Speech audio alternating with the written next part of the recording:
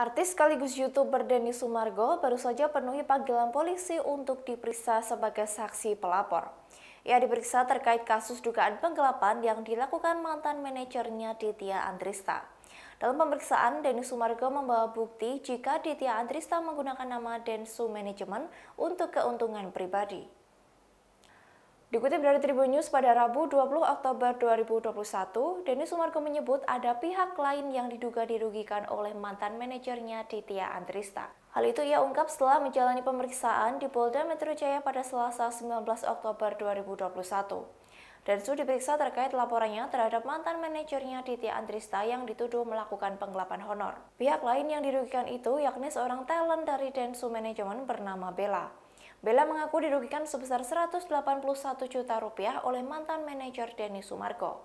Dengan itu, Densu melaporkan bukti jika mantan manajernya itu menggunakan nama Densu Manajemen untuk menggelapkan uang Bella. Tak hanya sekali dua kali, mantan manajer Densu, Ditya Andrista, kerap menggunakan nama Densu Manajemen untuk membuat keuntungan pribadi. Kuasa hukum Densu, Muhammad Anwar menjelaskan jika Ditya Andrista menggunakan nama Densu Manajemen untuk mengundang talent-talent lain. Seusai kejadian tersebut tersebar luas, sang mantan manajemen lantas memblokir semua kontak milik Denny Sumargo. Sebelumnya, Denny Sumargo melaporkan Ditya ke Polda Metro Jaya atas kasus tindak pemalsuan dan penggelapan uang. Densu mengklaim duitnya senilai 739 juta rupiah dibawa kabur oleh Ditya. Menurut Denny Sumargo, Ditya mengambil keuntungan pribadi dengan memakai bendera Densu Manajemen. Bahkan, Ditya sempat mengembalikan 500 juta rupiah sebelum menghilang.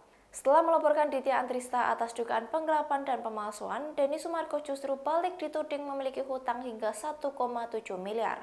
Hutang tersebut diakui Ditya merupakan akumulasi sejak tahun 2018 dari beberapa pekerjaan yang tak diselesaikan Densu. Namun, Densu membantah jika dirinya tidak membayar sang mantan manajer.